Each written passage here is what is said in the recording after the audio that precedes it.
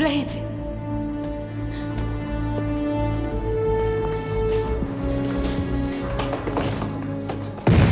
Olá, senhores! Na reunião de hoje analisaremos um filme de 1998 chamado Blade, o Caçador de Vampiros. Esse filme é muito louco, muito louco mesmo, muito da hora, viu? O filme é basicamente assim: há muito tempo atrás, uma mulher grávida foi mordida por um vampiro. Ela não conseguiu sobreviver, mas pôde dar à luz à criança e foi assim que Blade nasceu.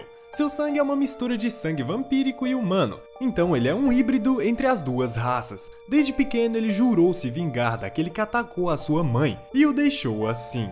Então, junto com Whistle, seu pai adotivo, ele acaba se envolvendo numa caçada contra o tempo, pois o líder dos vampiros chamado Frost planeja dominar a humanidade invocando um poder lendário que foi esquecido. Respira fundo e vem comigo que eu te conto como toda essa história muito massa aconteceu. Vemos uma mulher coberta de sangue sendo levada para o hospital onde ela dá à luz a um bebê, 30 anos depois, na próxima cena, uma jovem leva um homem para uma balada clandestina que está escondida dentro de um frigorífico no centro da cidade. Eles se divertem bastante e, à medida que a noite passa, o cara percebe que está pingando sangue do teto. Segundos depois, o sistema anti-incêndio do teto começa a derramar sangue, e é pior ainda quando ele se dá conta de que o clube está cheio de vampiros. Ele tenta fugir de lá, mas acaba caindo e tendo que rastejar dando de cara com os pés do Blade. Nessa hora, todos os vampiros começam a ir para cima dele, mas Blade luta contra todos, derrubando cada um dos vampiros que estão lá com suas armas especiais para caça. A luta termina com Blade imobilizando um subchefe vampiro, chamado Queen, e tacando fogo nele para finalizar. Então a polícia chega e Blade é forçado a fugir de lá para não ter nenhum tipo de encheção de saco. Momentos depois, naquela mesma noite, o corpo carbonizado de Queen é levado para um necrotério de um hospital, onde o Dr. Curtis convence a doutora Karen a examinar o corpo de Queen. O clima entre eles está meio estranho, pois os dois eram namorados até um tempo atrás.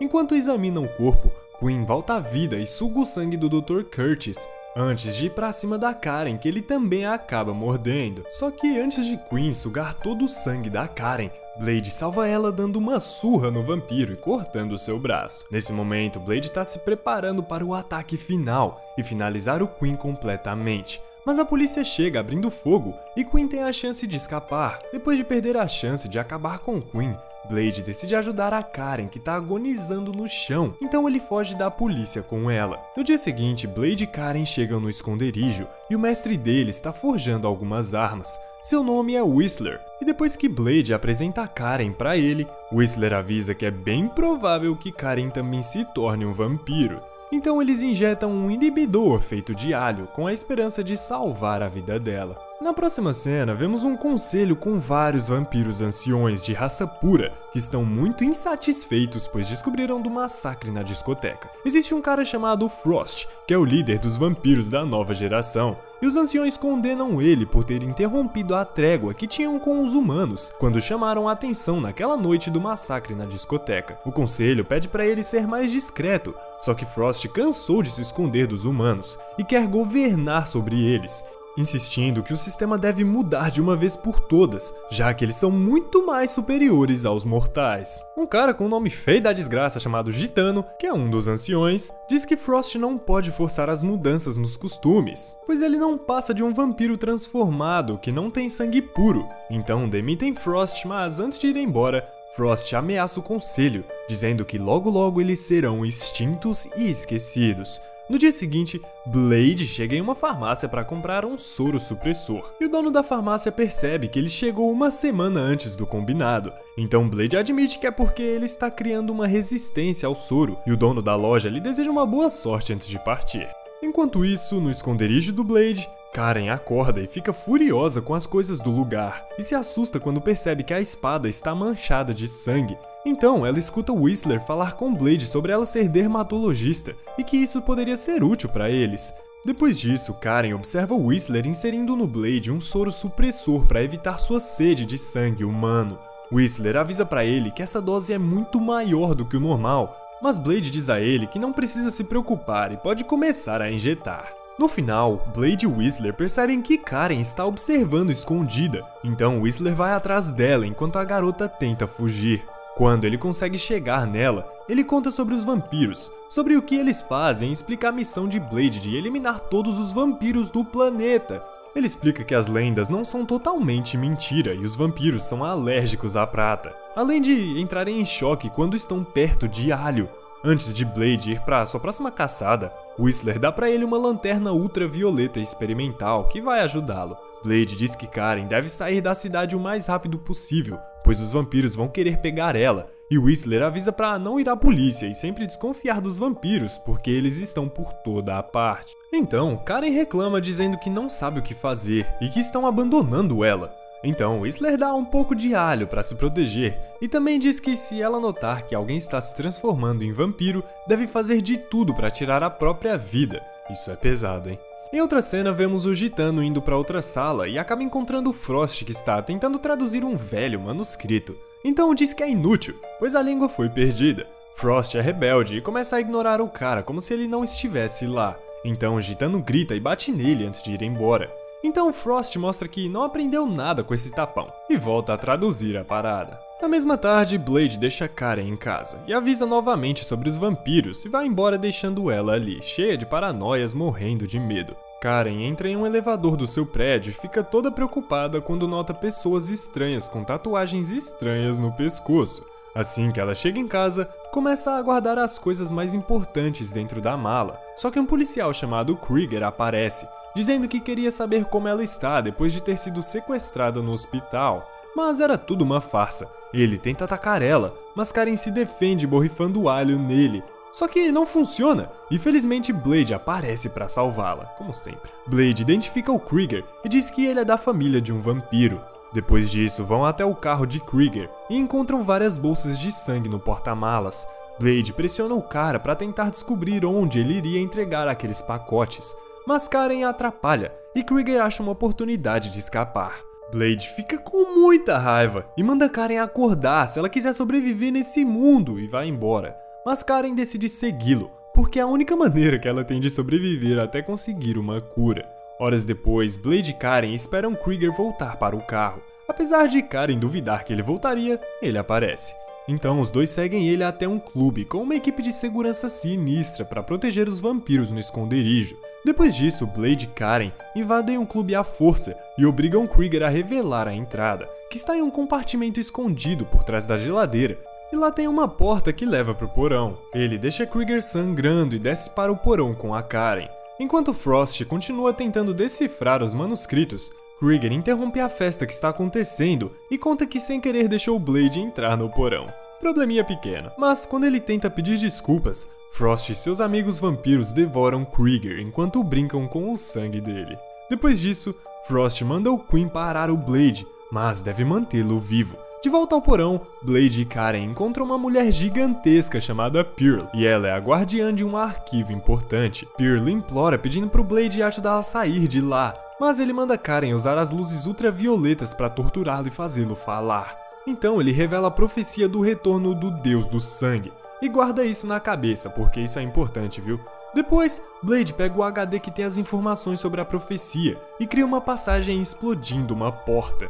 Ele entra numa sala sagrada e descobre os manuscritos com a história dos vampiros. Só que, enquanto analisavam os papéis, eles são emboscados e capturados pelo Queen e seus homens.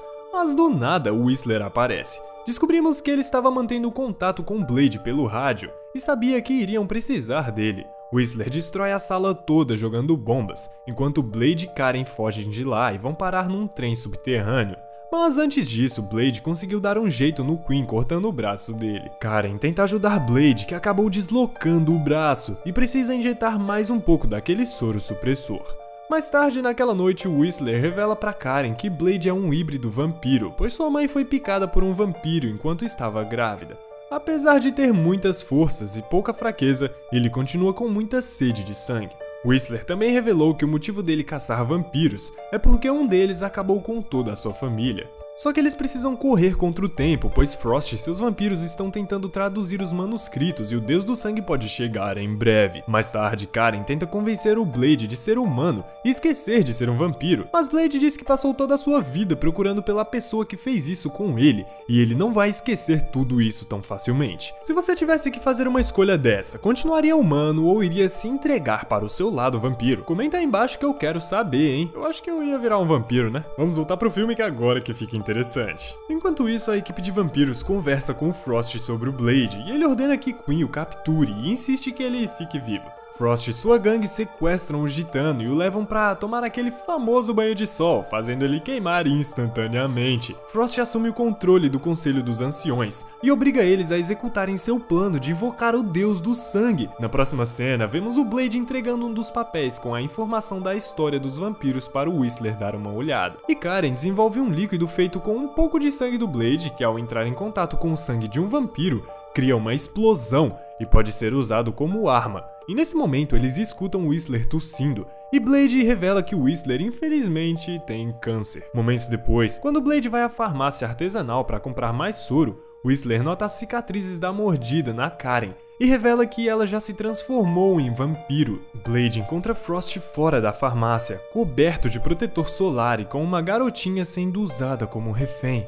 Ele tenta recrutar Blade para o seu lado, mas ele não se deixa enganar porque conhece a profecia. Tudo que ele quer é eliminar o Frost.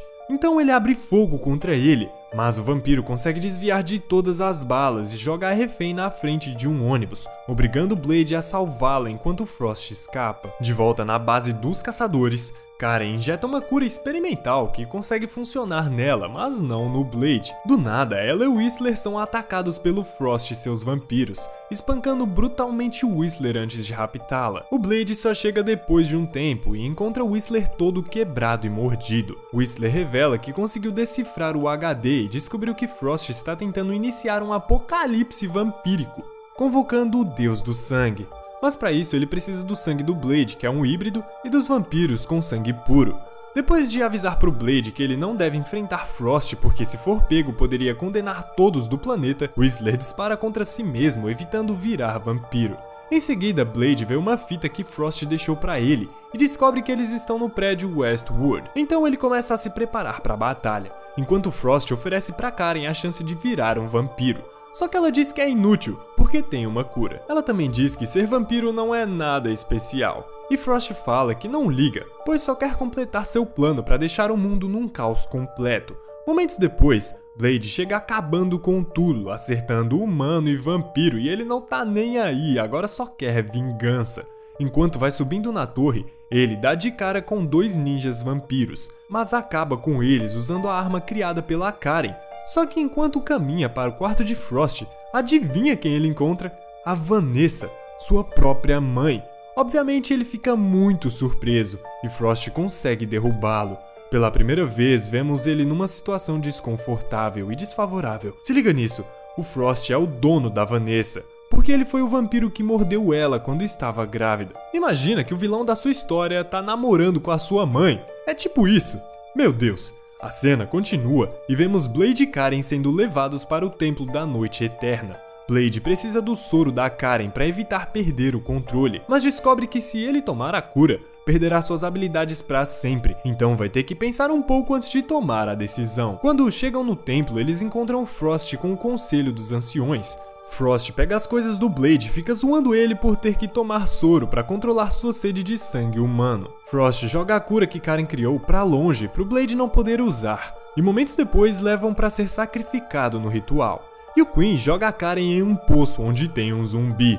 A criatura vai para cima, mas Karen consegue acertá-lo e dá um jeito de fugir do poço, enquanto Blade é levado a uma câmara para preparar o ritual. Antes de trancá-lo na câmara, Vanessa diz pro Blade que ela tem gostado de ser uma vampira, então começam a extrair o sangue do Blade. Os vampiros do Frost obrigam os guardiões a ficarem em suas posições enquanto o ritual começa, mas eles não percebem que Karen escapou do poço.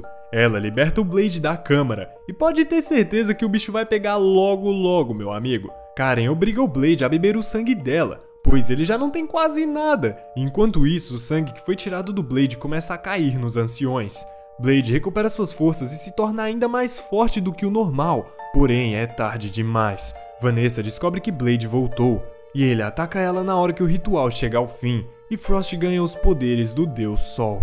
Depois disso, Blade vai até os vampiros e acaba com um por um, incluindo o Queen e toda a equipe. Depois do banho de sangue, Blade inicia uma luta de espadas com Frost. Apesar de Blade ter uma vantagem na batalha, isso é inútil, já que o novo poder de Frost e sua capacidade de curar são muito mais altas. Mas Blade consegue usar sua espada mágica para pegar a cura que Karen criou e injeta tudo no Frost, além de acertá-lo com a espada. Frost explode graças àquela cura e é derrotado. Então, quando saem do templo, Karen se oferece para curar Blade, mas ele rejeita a oferta, porque a guerra contra os vampiros precisa continuar e ele vai precisar de suas habilidades.